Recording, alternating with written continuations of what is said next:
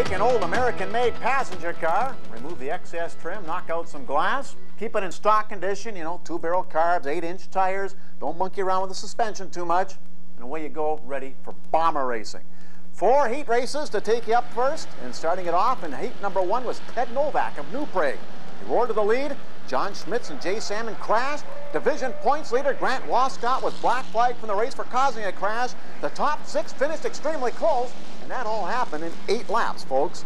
The second heat, not quite as dramatic, but we still had three leaders in the race. Mike Chatterton of Morristown was the final one. Two leaders in the third heat. Mike Schmitz and Derry Peterson both passed Rob Koffenberg on lap six.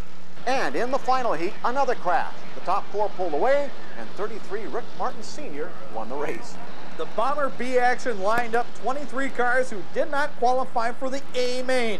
Minnetonka's Joe Sorani-Rapp found the front of the races on the second lap. The big mover was points leader Grant Wasgatt, number 60, bolting past a flock of loose cars in the early going. Wasgatt was running in his first beef feature event of the year due to his mishap in the heat race. As Sorani opened a huge lead on the way to his first feature win of the year, Wasgatt in number 60 and Jay Salmon in car 66 had a great door-to-door -door run for second.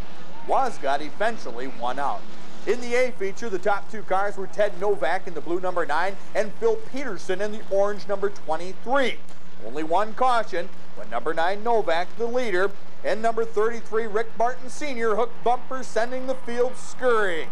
As the race resumed, Peterson held the front to himself and sprang to a comfortable lead. Look at this three-wide battle for fourth, only in the Bombers, man.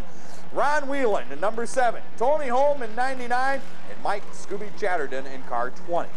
Problems for race leader Phil Peterson on lap 11. A smoking car and a black flag, and Peterson was out of here. Inheriting the lead was the 0-2 ride of Faribault's Dan Beaupre when he bumped on the back straight with Andy Jurek, sending the 83 car for a loop. Cruising to a big win was the 0-2 ride of Dan. Oh, what a save! Beaupre, while Mike Chatterton and Tony Holm rounded out the top three.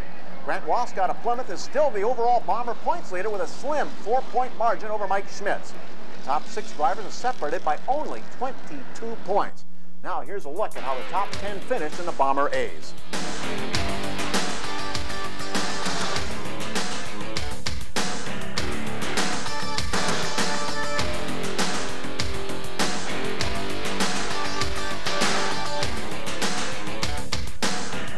We've got